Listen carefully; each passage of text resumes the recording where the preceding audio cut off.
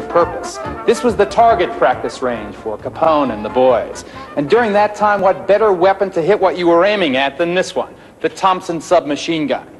Most civilians called it the Tommy gun. The mob called it the typewriter. And as you know, with it, they wrote a bloody tale of terror. If the Colt was the weapon that won the West, they say this was the weapon that made the 20s roar. With me now are two experts on the Thompson submachine gun specifically and weapons. Come on in, guys. Here's Sherman Tarnoff and Bill Dambra. Why was the weapon so popular with the mob?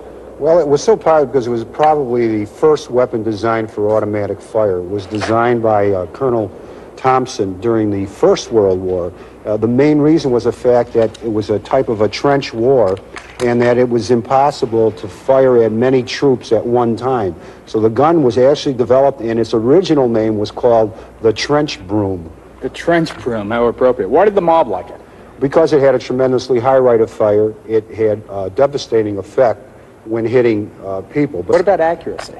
It was tremendously accurate, a very accurate weapon at close ranges.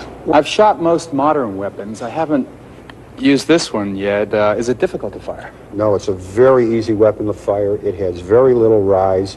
It is extremely accurate, and it's very comfortable to shoot. Okay, why don't we... Uh, why don't we demonstrate that? You can walk me through it. We'll show the, uh, the rate of fire and the accuracy of the Thompson submachine gun. Okay. We've set up some targets. Why don't you load her up and show me how to use it? Okay. What's her caliber? It's a 45 caliber automatic pistol round. Is this exactly the same gun used in the St. Valentine's massacre? Exactly. Weapon loaded? Weapons loaded and it's on safe. She's on safe. Okay, look at that mark. Any special instructions? Just lean into it. Okay. Safety's coming off. Safety's off. Weapon's hot. Downrange, ready.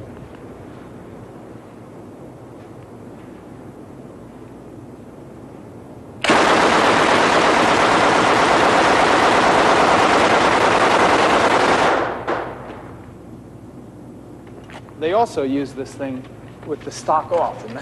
Yes, they did. It comes off real simply, just like Why? that. What's the reason for that?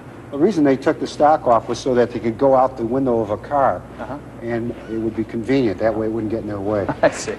Now, one point I want to make very clearly right now, this is live ammunition. It's not like the cop shows you see on TV, not like the police dramas where they use squibs or blanks. This is the real stuff. 45 Real stuff. caliber, hot ammunition. Okay, now you just fire it like a pistol then. Safety's Pistol. on, she's hot, downrange, Ready to go. ready to go. Okay, let's see what happens to Aristotle. So I just watch my burst and aim by the Watch burst. your burst where it's going.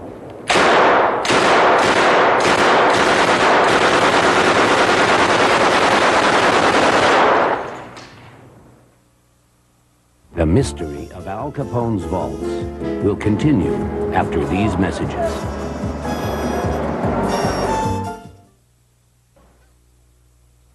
Just a few miles west of downtown Chicago and the Lexington Hotel lies Cicero.